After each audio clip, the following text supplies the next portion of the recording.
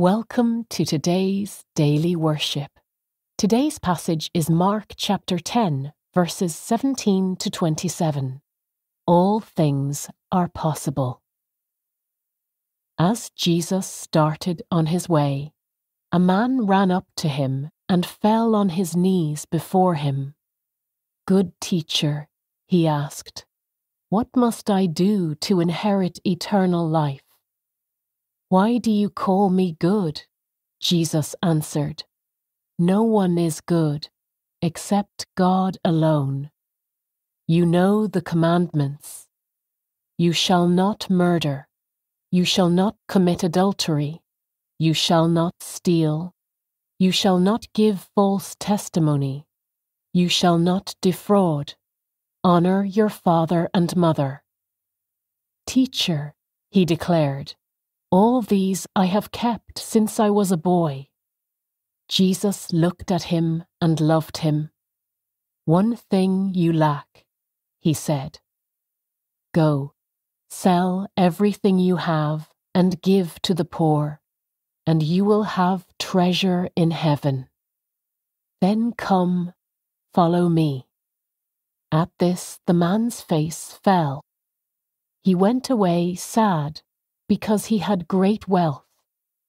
Jesus looked and said to his disciples, How hard it is for the rich to enter the kingdom of God. The disciples were amazed at his words. But Jesus said again, Children, how hard it is to enter the kingdom of God. It is easier for a camel to go through the eye of a needle than for someone who is rich to enter the kingdom of God. The disciples were even more amazed and said to each other, Who then can be saved? Jesus looked at them and said, With man this is impossible, but not with God. All things are possible with God.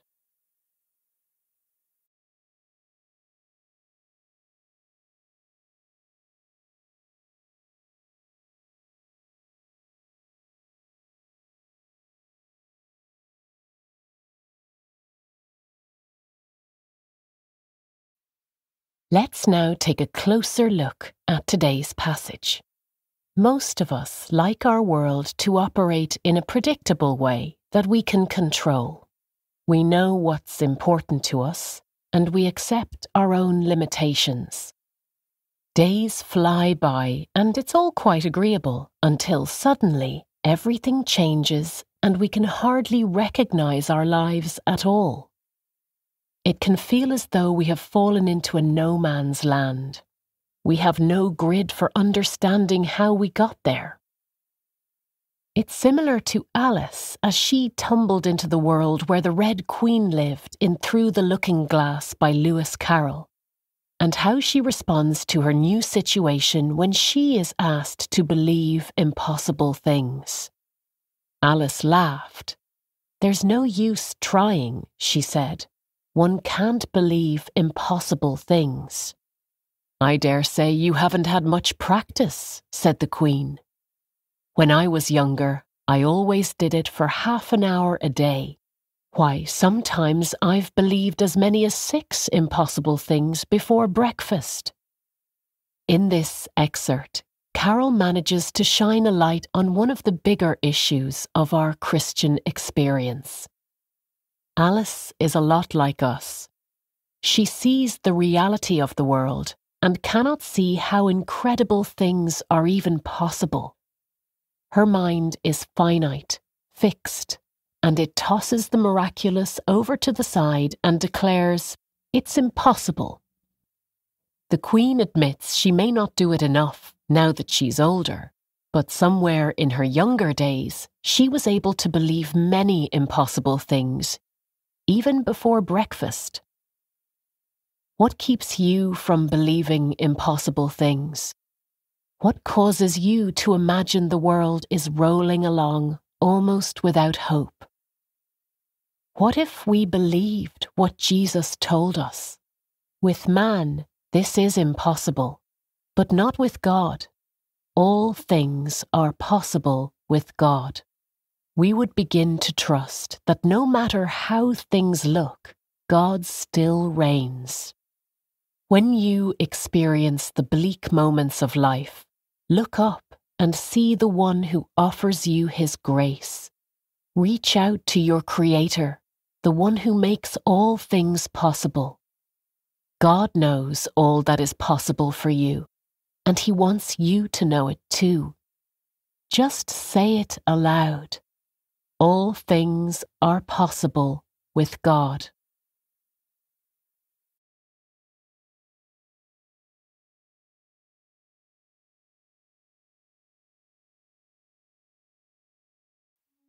Welcome to today's reflection.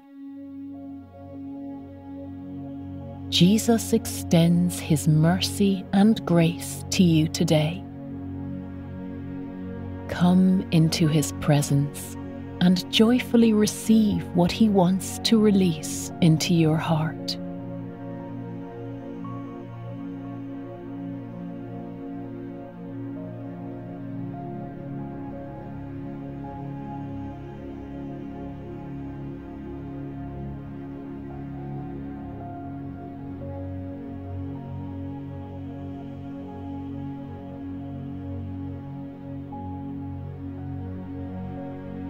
Look up and see Jesus. Focus on his character in the stillness of this moment and allow faith to rise up in your life.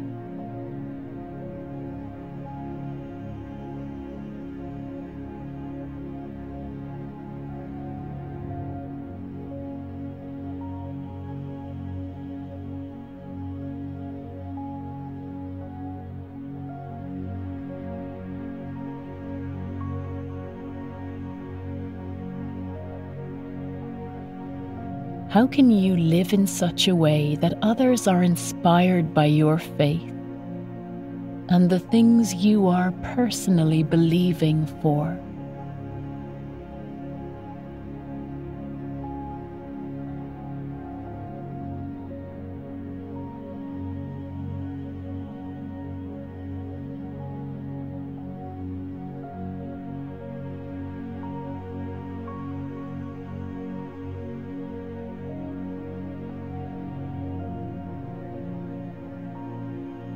As we finish today's time of reflection, pray this prayer with me.